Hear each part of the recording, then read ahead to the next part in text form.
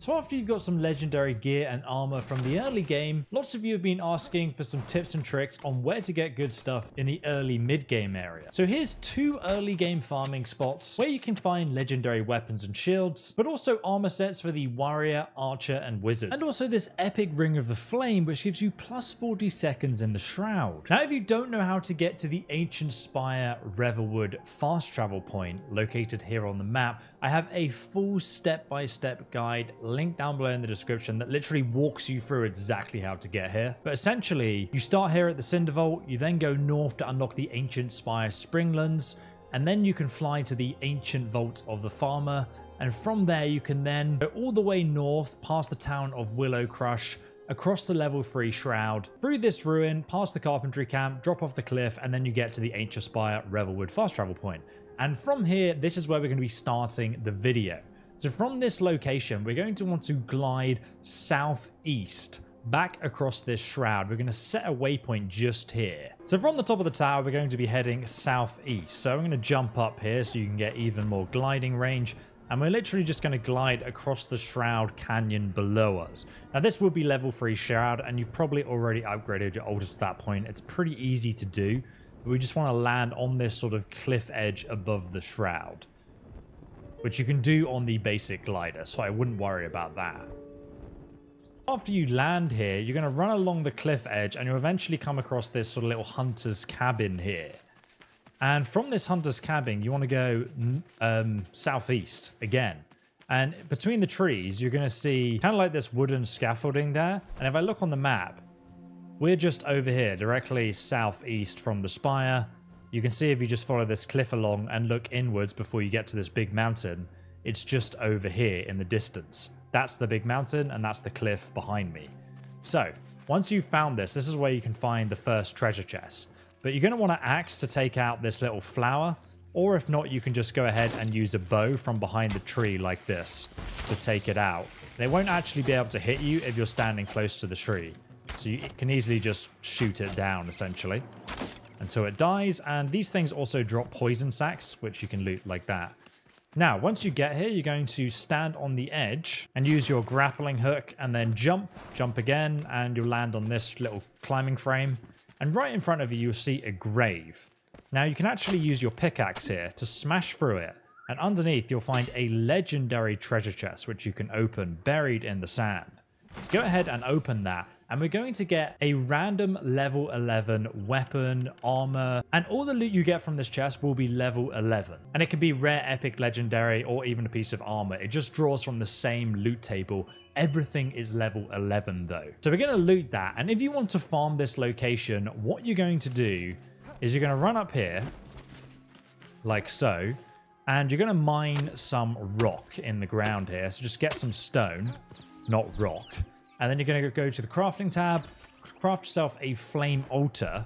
And you're going to place this flame altar just so you can see that red line where the grave is. You want to place it just out of range of where the grave is, like this. So I'm just going to put this here.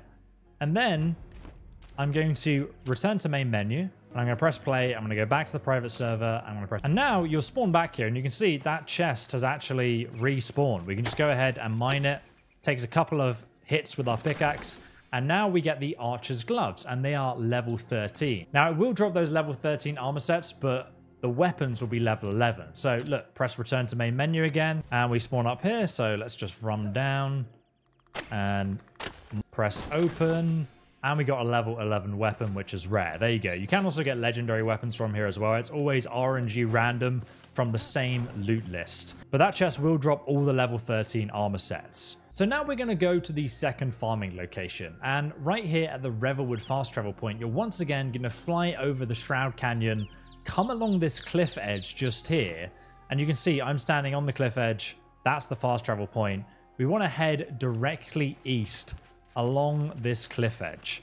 And we're basically going to keep traveling along this cliff edge all the way down here, past this flame shrine, keep on going, and eventually you'll come to a Forsworn Frontier, which is a bandit camp location. So just carry on walking along the cliff edge. You really cannot go wrong. As long as you keep that cliff edge on your left, you cannot get lost. And right here we come to the Flame Shrine, just here, which you can loot and then you'll see like this wooden scaffolding, and right in front of you, you'll see the bandit camp just ahead. You just run past the boars, don't worry about them, you don't even need to kill them. So here we're going to get to the Palisade War of the Forsworn Frontier. You can see that's the tower over there.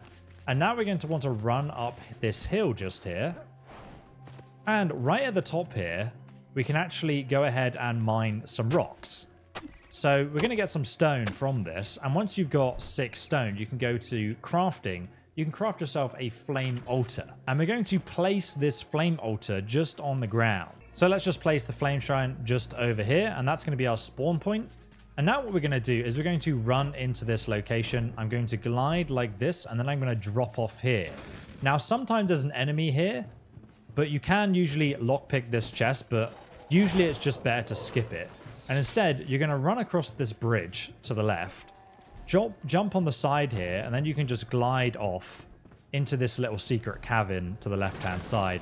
That's the first chest, which is going to drop the level 13 um, Archer's armor set. It can drop anything, just a bunch of level 13 stuff really, including weapons. But if you just carry on down this path, you can climb up this area here, and then there's a ladder, and we can just climb all the way to the top of this scaffolding. Now there's another silver chest just here, and this one's going to drop the city wall block. It always drops 241 of them, which is great for building your base. So you can actually farm the city block wall really easily there. And if you look up, you can use the grappling hook from there instead of climbing the ladder to save yourself some time. And then you can climb up this little scaffolding inside of the tower. And if you come outside again, there's another grappling hook there. Just use that. And this is the golden legendary chest at this location, Undergrowth Staff Legendary. So I'm going to go ahead and loot that. And now what we're going to do to reset this farming spot is we're going to return to the main menu. And we're just going to press play again.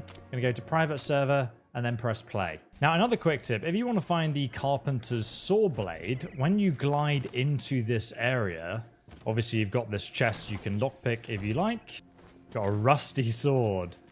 But just down here, there's a red glow, and here is the Carpenter's Circle Saw Blade.